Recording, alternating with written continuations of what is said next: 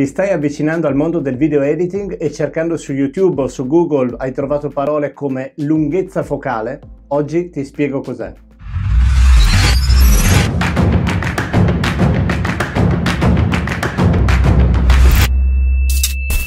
Ciao, io sono Luca e in questo video ti spiegherò cos'è la lunghezza focale. La caratteristica principale di un obiettivo è la sua lunghezza focale ed è espressa in millimetri. Non è altro che la distanza tra il centro ottico e il piano focale. Il centro ottico è situato al centro del tuo obiettivo, mentre il piano focale è situato praticamente dove c'è il sensore della tua macchina. E in questo punto è dove si converge il fuoco che andrai a fare sulle tue immagini. Tutte le macchine fotografiche hanno impresso un simbolo. Questo ci fa capire il punto esatto in cui è il punto focale, ossia il sensore. Ma questo tutorial nasce per spiegare in maniera facile e con esempi pratici, quindi lasciamo stare le terminologie e passiamo a degli esempi. La distanza focale, quella espressa in millimetri, si trova sulla ghiera del tuo obiettivo. Puoi avere un obiettivo a focale fissa, ad esempio un 85 mm, dove non avrà escursione da 24 a 85, ma sarà fisso su 85 mm. Questo significa che la distanza in millimetri che la luce percorre dall'ingresso del tuo obiettivo fino al piano focale, ossia al sensore, è di giusti 85 mm. Esistono degli obiettivi a focale variabile, come quello che sto usando in questo momento, è un 24 4,70 significa che ha un'escursione da 24 mm a 70 mm di distanza tra il centro dell'obiettivo e il tuo sensore. Nel caso tu utilizzassi ad esempio un obiettivo da 200 mm e portassi la ghiera fino a 200 mm, sai che quella è l'esatta distanza che la luce percorrerà dall'inizio dell'obiettivo, dal centro dell'obiettivo, fino al tuo punto focale, ossia sempre il sensore. Ma in che modo la distanza focale può andare a cambiare il risultato della nostra ripresa o della nostra fotografia? Cosa cambia ad esempio un'immagine scattata a 24 mm o un'immagine scattata a 50 mm? Tieni conto che quando si parla di lunghezza focale non si può non considerare l'angolo di ripresa. Più aumenterai la lunghezza focale e minore sarà l'angolo di ripresa.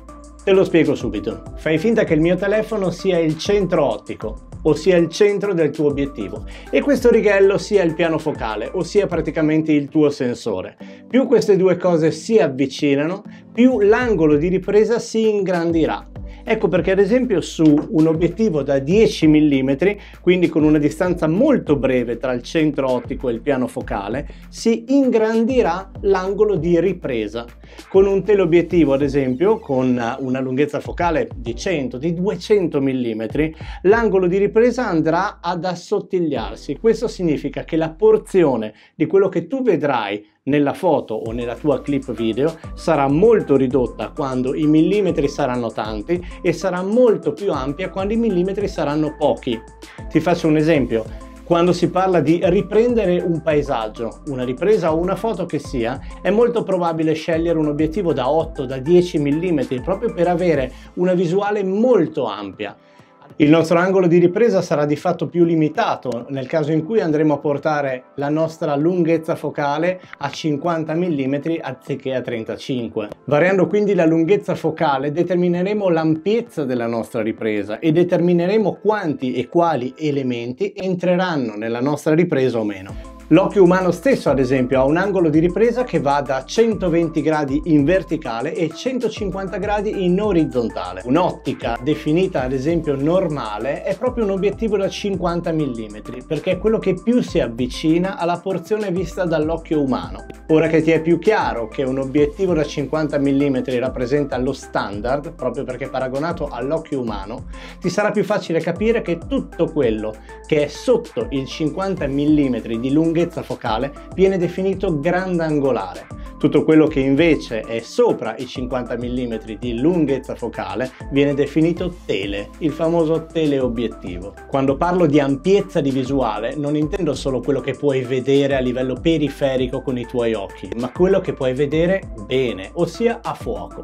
Un obiettivo grandangolare, ad esempio da 8 o da 10 mm, ti darà la possibilità di vedere anche la parte periferica a fuoco, quindi di vederla bene. Sono sicuro che in questo momento riuscirai a percepire quello che hai a sinistra e a destra della tua testa, proprio perché hai una visione abbastanza grandangolare, ma non riuscirai mai a metterla a fuoco, a meno che tu non ti girerai verso un obiettivo e metterai a fuoco quello. Quello che fa il grandangolo è di mettere a fuoco la porzione più ampia possibile. Questo significa visione.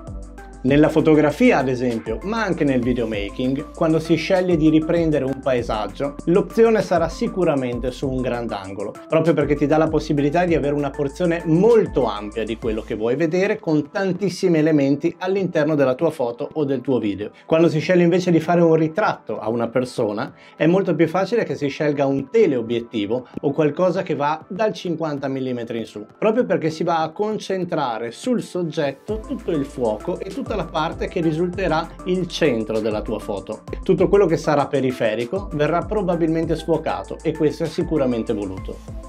Spero di essere stato abbastanza chiaro nello spiegarti cos'è la lunghezza focale perché mi rendo conto non essere un tema molto facile.